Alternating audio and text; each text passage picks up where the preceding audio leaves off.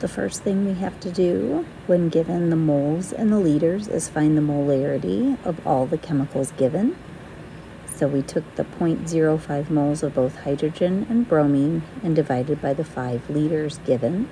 So we know the initial molarities of both the hydrogen and the bromine. You can assume that there's no hydrogen bromide, hydrobromic acid, in the beginning uh, because the reaction hasn't started yet we plug those numbers into the ICE table. We don't know what the change for hydrogen and bromine are going to be, but we do know that they're going to be the same number because they're in a one to one ratio in the balanced chemical equation. The change for the hydrobromic acid is going to be twice that of the hydrogen and bromine due to the 2 in the balanced chemical equation.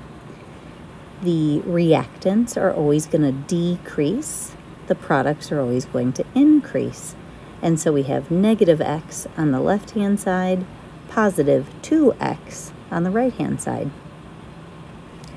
With our equilibrium expression, we have to take that hydrobromic acid and square it due to that 2 once again in the balanced chemical equation. Products over reactants, hydrogen and bromine don't have coefficients, so they don't have exponents. They did tell us in the problem what the value of k was, so I can substitute that into my equilibrium expression. The tricky part is, is that the math is just gross with all those squares.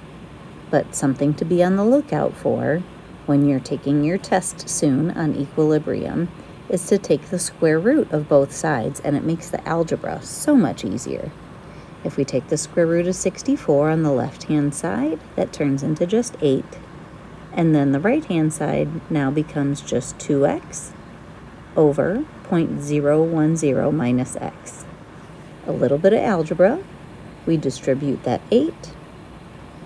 We move some stuff around, solve for x, and we get 0.0080 for x. But what did x represent again? Look back at your ICE table. x was representing the changes for hydrogen and bromine if we plug those into our equilibrium uh, line there, the equilibrium for both the hydrogen and the bromine is 0.010 minus x. So if x is 0.008, we subtract and we can find our values for hydrogen and bromine. Hydrobromic acid was 2x, so we take that value of x and double it, and we can get the equilibrium molarity for the hydrobromic acid.